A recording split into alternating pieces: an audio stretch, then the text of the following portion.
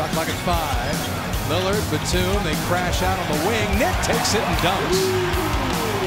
Wesley picks his pocket again. Matthews, two on one, back from Batum, scores and he's fouled.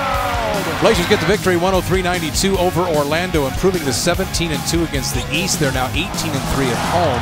Blazers wrap up a long homestand, their longest of the season, 6 and 1 with the lone blemish being the loss to Atlanta. Mike Rice, Blazers uh, came really early and really easy, and sometimes that can be dangerous in a ball game. They got by, by 19 and it looked like it was going to be a laugher. And maybe that's what led to the sloppiness that we saw a little bit.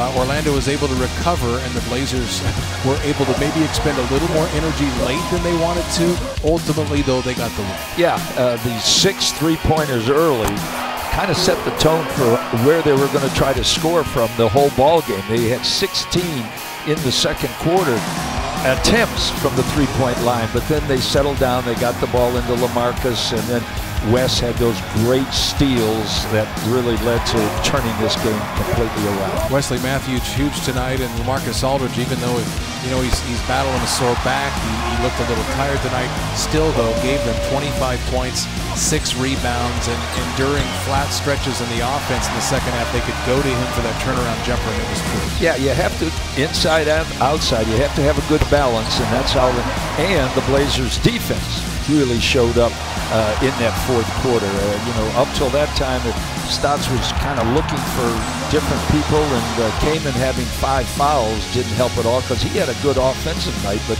just wasn't in there enough. Blazers 29 and 8 now, and now off to take on the Lakers. Portland has won 21 of its last 26 overall now. Sunday night, Lakers at 6:30.